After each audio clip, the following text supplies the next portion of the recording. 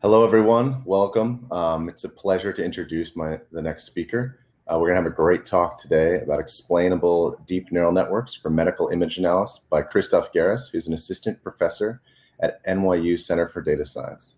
So without further ado, I'm going to hand it over to Krzysztof. Thank you very much. Um, okay, so uh, can you can you hear me very well? Uh, yes, we can.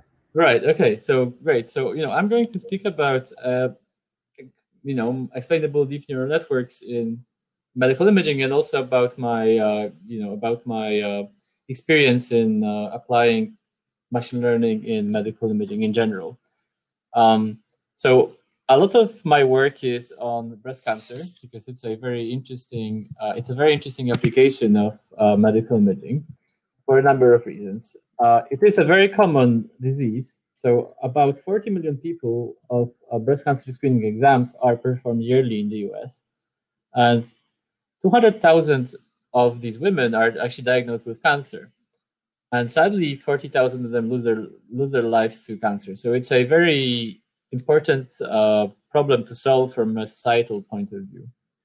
And also it is very interesting from the machine learning, uh, from point of machine learning methodology.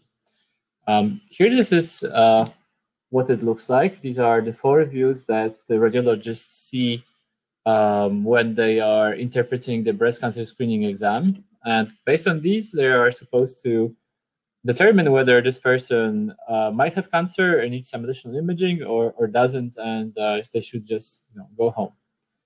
Um, so the way we formulated this a learning task is that we take these four images, we use some learning model, and then on um, and then we uh, use this learning model to produce four predictions. So because there are two breasts, uh, we produce a prediction of malignancy in the right breast and the left breast, and additionally, uh, we also produce a prediction of whether there is a benign change in either of the breasts.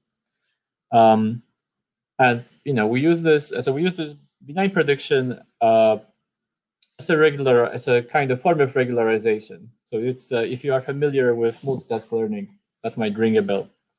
Um, okay, so of course now these days everybody knows how to use machine learning and are everybody is a deep learning expert. But um, so if it's you know so if it's a very, if it was a very standard problem, then you could just you know download Keras or whatever your favorite uh, whatever your favorite software is, and then you would be we would be done.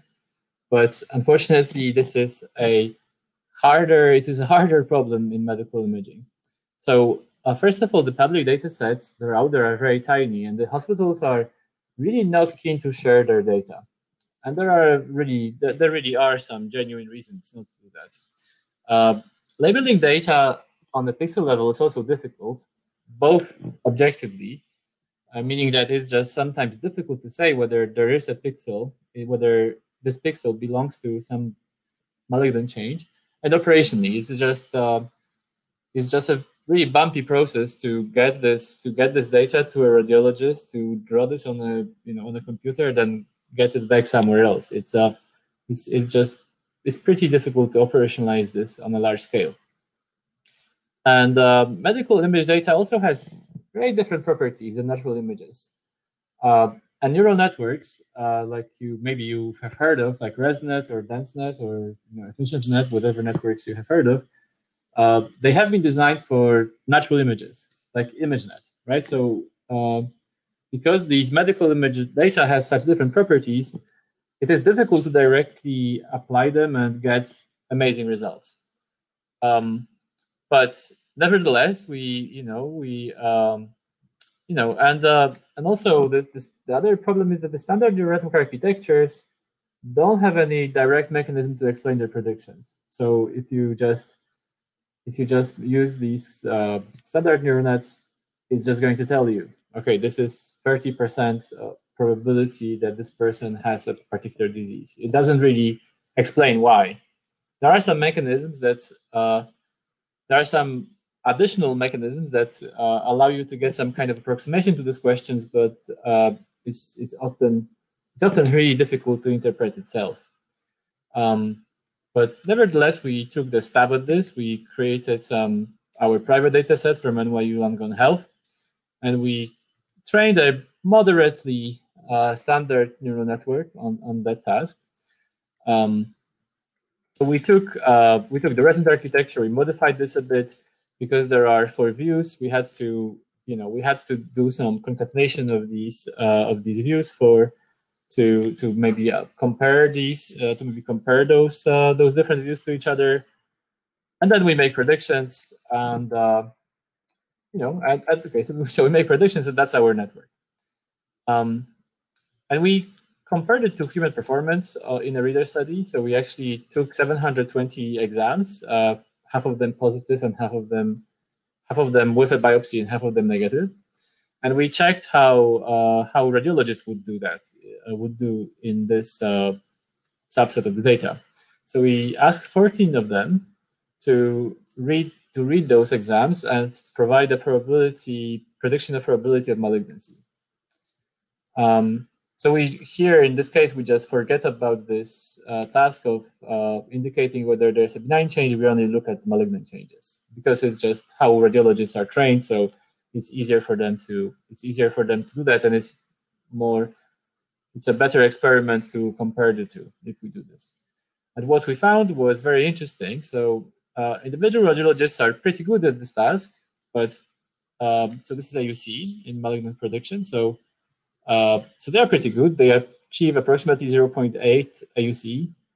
If they were perfect, they would reach around, they would reach one. If they were totally random, they would reach a 0.5, right? So they are, so they are pretty good, but they are not perfect. Of course, uh, radiologists are, you know, trained very well, but this is a very difficult task to actually to do. Uh, and surprisingly, our model uh, was slightly better than them. And we also found, but we found that if we ensemble of these radiologists, then they can still outperform our model. But then further, if we took those individual radiologists and ensemble each radiologist with our model, we could do almost as well on average as this ensemble. And uh, yeah, you know, and if we even then take this ensemble of radiologists and then we add our model to that, it is even better, right? So it's uh, so that's a, a very unrealistic result, right? You will never have 14 radiologists together and a neural network. So this is a really this is a really strong result already. Um, okay, but you know, so we so we took these uh, so we took these models and we put them online. Uh, you can play with them. Uh, you cannot really use them for anything commercial because of the license, uh, but because of our license. But you can you know, but for scientific purposes or just for your own amusement, you can you can use these networks and they are really they're really very good. There are actually, you know, there are many hospitals around the world that are trying to play with them as well right now to make sure that, uh, you know, to make sure that actually this is an interesting um, path of research for them as well. Okay, so, but is this the end of the story? Um, so even though this model is accurate and it is likely clinically useful as a second reader, uh, it is still, it has some flaws, right? So it is applying the same amount of computation to all parts of the image, um, and that is this is not necessarily an optimal solution from the point of view of how we would like to how we would like to learn. Uh, and because these are very large images, uh, if we apply the same amount of computation everywhere, then we just cannot have a very complex network. And uh, this model also needs pixel level labels to achieve strong performance, which is not always very easy to get. And uh, it doesn't really explain why it makes a particular prediction. And uh, I think you would all agree with me that it's hard to trust uh, something that you just don't understand. And for that reason, we build this other category of models, which I call uh, models interpretable by design. So I'm going to show you one example of a model that we built like that, and I will try to convince you that uh, it is a great model and you should all use models like that if you if you can. Uh, so this is a globally aware multiple instance, multiple instance classifier.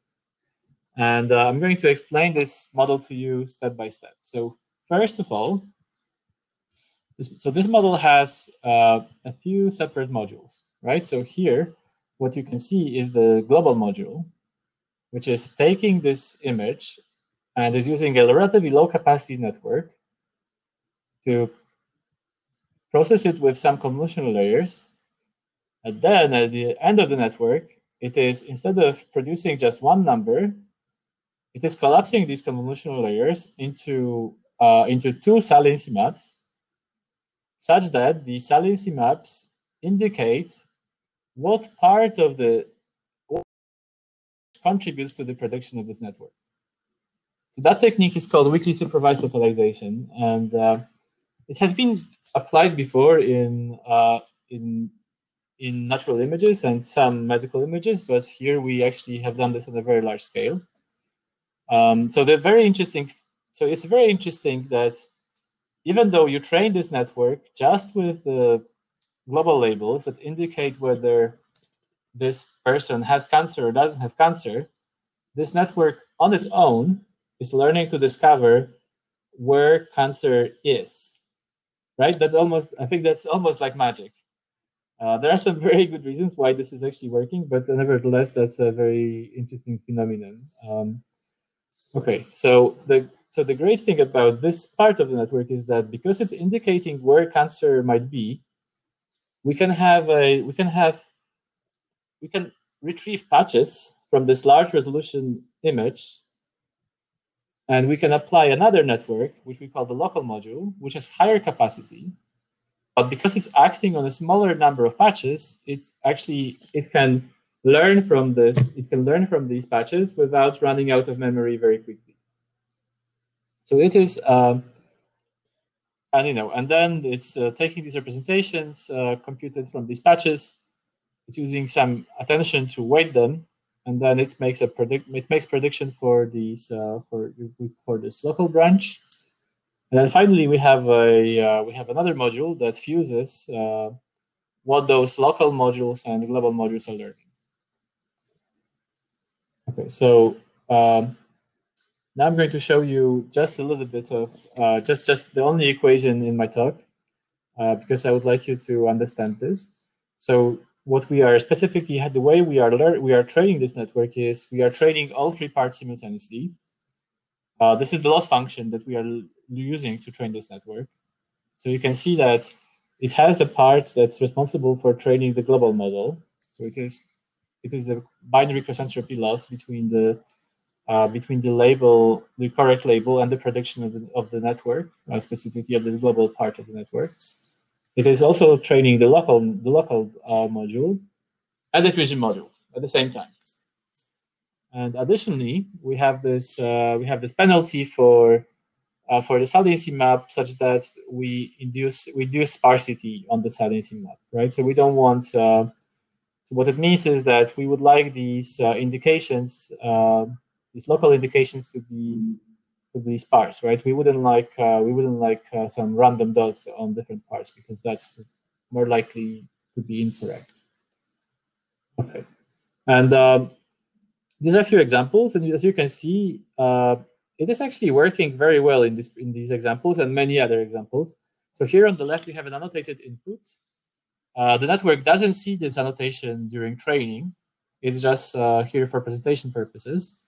Then in this next, in the second column, we have the patch map that the network found to be uh, the most important, and then those saliency maps, right? So, so green here indicates that the network thinks that there might be some benign change, and uh, here there's no malignancy, but it would be red if, if there was, right? So, so you can see that uh, in, a, in these examples, this network is actually able to fairly accurately localize these uh, localize these changes. Uh, the interesting thing is that sometimes until biopsy, it is impossible to distinguish between benign and malignant changes. And this is also reflected here in how this network works, right? So you can see that it is, it, this network knows that there's nothing benign or malignant outside of these regions, but uh, but is unable to distinguish whether they are malignant or benign. Uh, sometimes it is actually even finding some some things outside of outside of this uh, biopsy region that uh, might be suspicious. And uh, and also here it's uh, really again it's it's you know it finds that it finds that this region is benign or malignant, but it's not really able to uh, determine whether uh, whether it is indeed benign malignant. Okay, and um, the interesting thing about this model is that it has this amazing property that is able to localize, but also it is very accurate because of this uh, architecture that allows it to apply a lot of computation at these uh, smaller regions that are salient. And what I'm showing you here is a comparison to a number of models. Uh, I won't go into details of these models, but you have to trust me that these are strong models. Uh, some of them are, you know, so so these models all use, um, all of these models use uh, both pixel level labeling and uh, global labeling, while our globally aware multiple instance classifier or GMIC only uses only uses the uh, image label image level labeling, right? So we never really tell this uh, model where cancer is. It's just learning to discover that, and it's doing this incredibly accurately. So if we create an ensemble of a few different models, we actually find the AUC to be 0.93, right? So it's it is a very high AUC for this problem.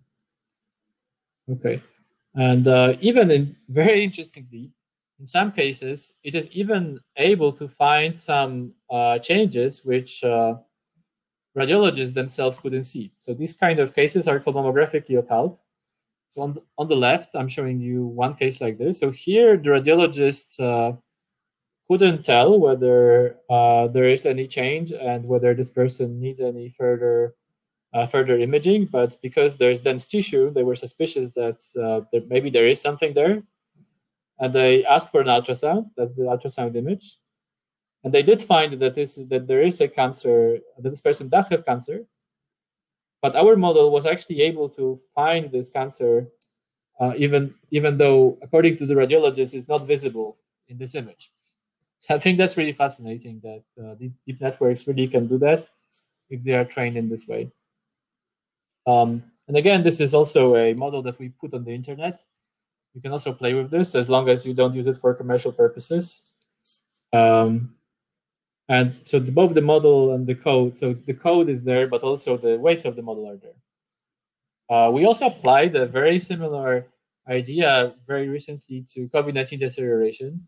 Um, and here we understand deterioration as whether this uh, patient will have a transfer to ICU, whether they will uh, need to be intubated, or whether they will unfortunately die and we set uh, four uh, time horizons to predict that for 24, 48, 72, and 96 hours. Um, and we used basically the same kind of network. It's uh, it's almost the same kind of architecture, just with slightly different sizes. What we found is that this architecture again works uh, very well, and it's finding and it's finding interesting regions of uh, interest in these images.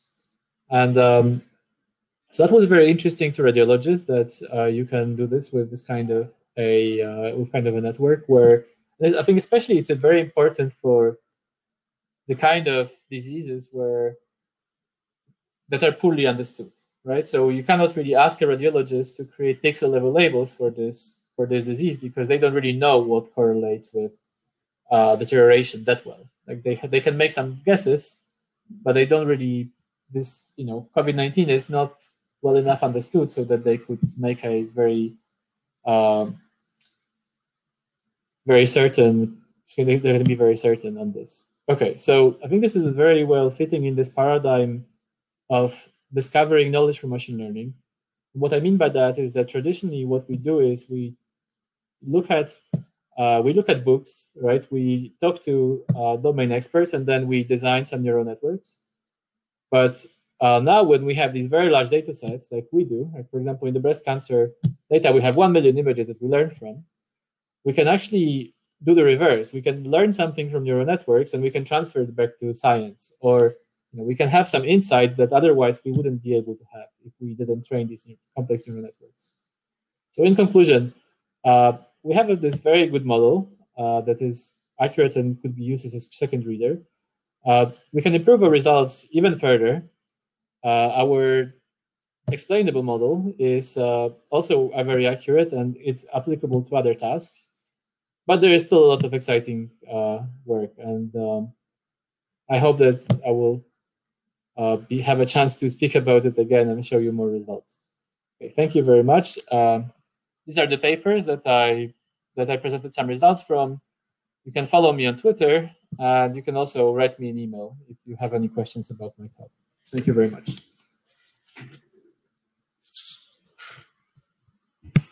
Okay, uh, so. Thank you very much, Krzysztof. Right. Um, I think unless there's uh, anything else on your end, people uh, in the chat free to ask questions uh, to Krzysztof. And if you could stay a few minutes, Krzysztof, I know we have another. Sure, no problem. I'm sure they would love to mm -hmm. utilize this time to ask you directly. Sure. Thank you.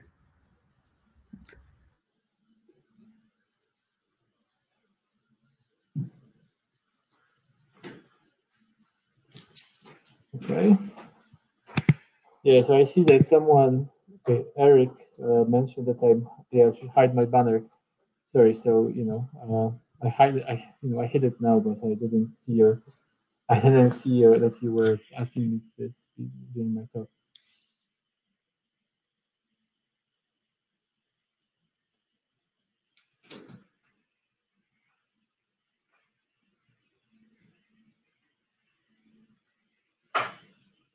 Any questions?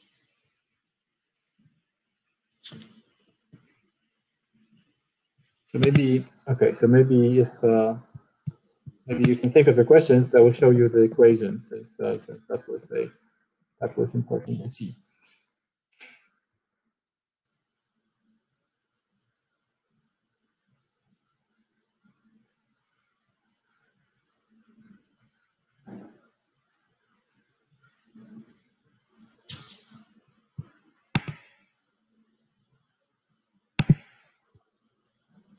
Okay.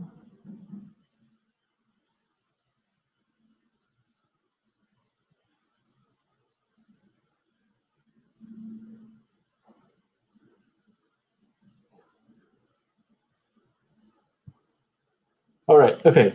So, oh, I see. Now there's lots of questions. Okay. Is there another? Okay. Uh, another aspect towards explainability behind besides focusing that we didn't mention.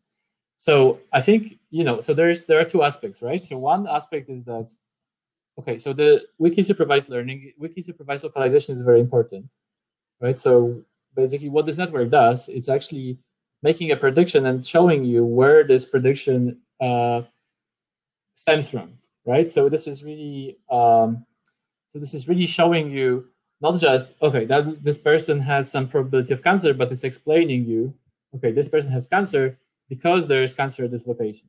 So it's a very important property for medical imaging uh, because you know like if you if you don't have this kind of explanation, then it's very hard to take any action on that. Okay, so the next question is for parallel ResNets concatenated, how this is making a difference. So it's a okay. So so this is a question from Prakash. So that's a uh, so this is uh, from our previous paper. So we didn't do this in, uh, in this explainable network. So the reason why we have these four ResNets is that there are four views. Um, and you know the the reason why we did that is because you might want to compare different views, right? So here we are, for example, comparing left and right left so left uh, so there are four views and we are comparing like those kind of corresponding uh, MLO views and the corresponding CC views. Is it making a big difference? Uh, it's not making a big difference. It's making a little bit of a difference. I think to actually uh, be able to really fully leverage this, we probably need a different kind of architecture that would actually allow some richer interactions between uh, these uh,